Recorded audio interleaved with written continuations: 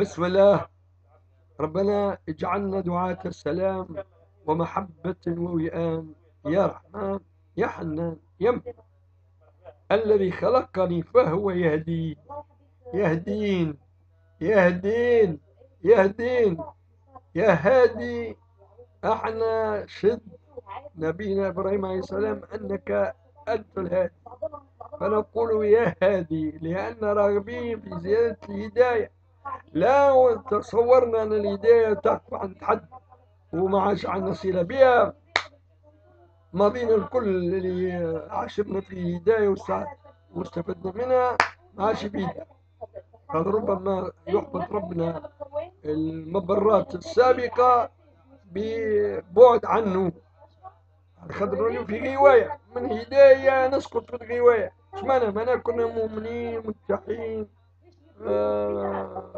مانا رايضين آه راضين فإذا بيدور الشيطان دورنا معنا 180 درجة فنكونوا شياطين والعياذ بالله وهذا من أشر ما يجب يتصوروا المؤمن اللي يكون مؤمن يعني عنده قناعات أن لا إله إلا الله وعنده إيمان بالغيب خيره وشره وعنده إيمان بالملائكة عليهم السلام وهلم جر والبعث وهلم جر يوم البعث والجمع والحساب والجنة والنار. كنت أنت متمتع بالخيرات هذيا وبعد الشيطان جاء دبر عليك حاجة قالك أنت تور زاهد وماشي لي مع أوهام.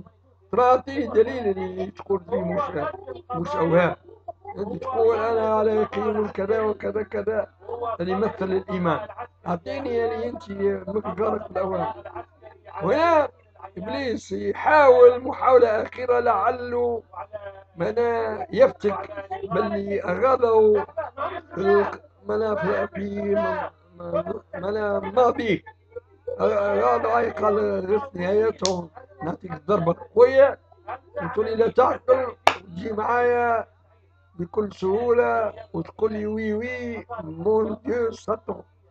هذا ما يقع للناس اللي مغرورين ما عرفوش أيام الإيمان يستغلوها في زيادة إيمان وزيادة إسلام. يعني ما كلش مسلم لله كل شيء لكن تو ما تقولش. شوية لله شوية لعبد الله كل شيء لله. وما عنده حتى متاع قال لك ربي يهز متاع زيكم رجال يا ناس. كنتم مسلمين. ما تجهلوش. هذيك حتى كما تقول أنت زريقة إبليسية الصهيونية ما أنا مشاكل في بالكم قال لي الله. والإنسان لهم قاسم مشترك. يعني أنت عندك متاع حتى ربي عنده متاع. أنت عندك حقيقة حتى ربي عنده حقيقة. هذا يسمى مورفيسم. يعني أنت كإنسان تولي إله. وهذا أخطر ما يلزم يستعمله إبليس للقضاء على أعدائه اللي إيمانهم ما يعرفوش قدره وما حرصوش على العناية به وما ملاك ما تقول ما شكرش ربي حتى يزيد يمكنهم في الإيمان. وهذا أغلب الناس اللي يدعون أنهم أهل الإيمان لم يتمكن من الإيمان بل الإيمان في عقول مخروبة من الشيطان. وماشي بالهم اللي هما مع الحقيقة اللي هما يعوموا غاطسين في الله حقيقة plus ni moins. والسلام على أهل الإسلام